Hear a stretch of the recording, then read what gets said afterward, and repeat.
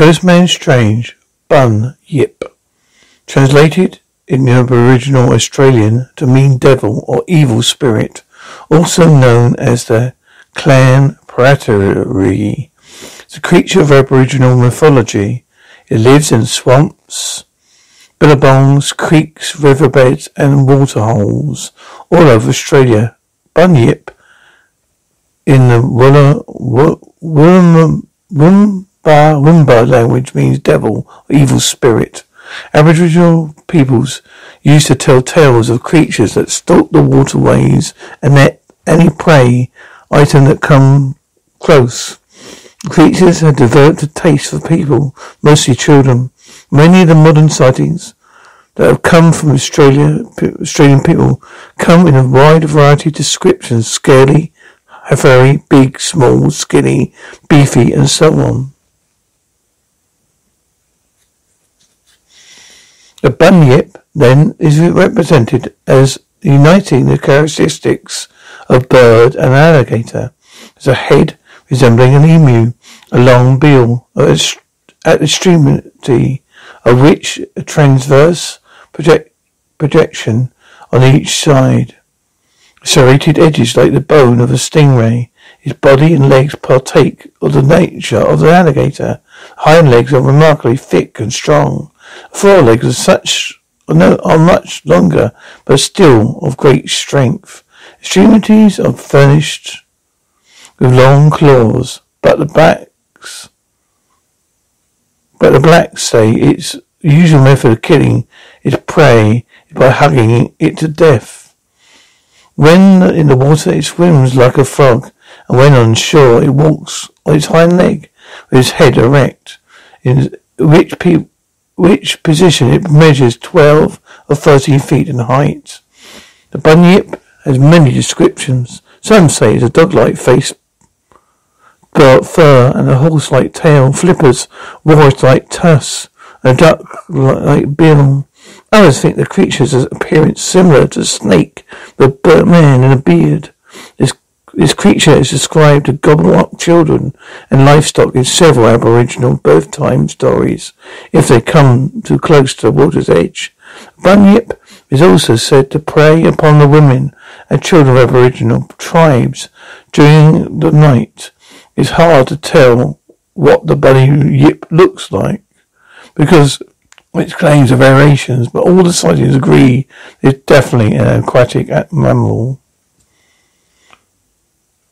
Sightings. One legend says a man named Bunyip broke the rainbow spirits, rainbow serpent's greatest law by eating his totem animal, banished by good by the good spirit Biami. The man became an evil spirit that lured tribesmen and his livestock into water so he could eat them all, all of them. One of the first recorded accounts of Bunyip, Bunyip took place in 1818 when James Meehan, explorer Hamilton Hume, both found enormous bones in Lake Bunyahus, located in South New South Wales of Australia, described as a creature similar to manatee, or hippopotamus. History. In the mid 1830s, George Ranken discovered fossilized bones in Wellington Caves, located in New South Wales, Australia, later to be followed by explorer Thomas Mitchell. British anthropologist Sir Richard Owen described the, the bones to be remain prehistoric marsupial dip Prad dot tan. On July of 1845, the Geelong Advertiser describes the bunyip in great detail. It is also the first recorded use of the term bunyip. In 1847, a strange skull was found on the Mantarara, River near Baran Alad in New South Wales. It later put on its expedition Australian Museum in Sydney. The skull was also proven to be the only proven the only the cranium of a disfigured horse or calf. Explanations. Some candidates from known species, such as leopard seals, have been suggested, or an elephant seal. Believed that bunyip could also be a surviving bit, dip, prod, a. Popular media, bunyip is a cerebral creature in a Scribblenauts games. Australian horror movie titled Bunyip is about a group of city folk who decide to take a hike in Australian wilderness, but end up getting lost, having to survive against a legendary creature. Another horror, Australian horror film, a horror movie titled Red Billabong, pits two brothers who'd uncover the family secrets.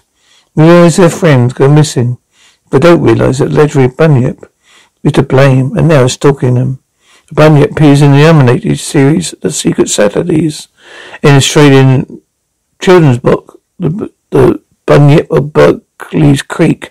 Bunyip tries to figure out what bunyips look like. The other animals describe bunyips as a horrible creature, so bunyip decides to live alone where he can be handsome as he likes. In Melbourne, there's a statue, statue the bunyip of Berkeley Creek, carrying his bundle street stick. Bunyip was a titan featured in Godzilla, King of the Monsters, hibernating Alberta's Rock, Australia. Although its name only appeared on a monitor, it was awakened by Ghidorah's alpha call. Bunyip appears to be appears as a docile figure in the Sonic series. A bunyip named Aurora appears in a Mercury series by Tori and Kari Sutherland. Nori kills Kill is a bunyip feature only in Ty, the Tasmanian tiger, who serves as an ally who begins a whole quest, the mysterious, mystic talisman to prevent a calamity. In reality, Ty can also temporarily be surrounded by Bunyip granting him invisible invisibility, a one-hit kill on all enemies. In second and third games, Mecha Bunyips appear, and though they are based on Bunyips, they function more like Gundam suits. Dingodile from the Crash Bandicoot series may have been inspired by the Bunyip.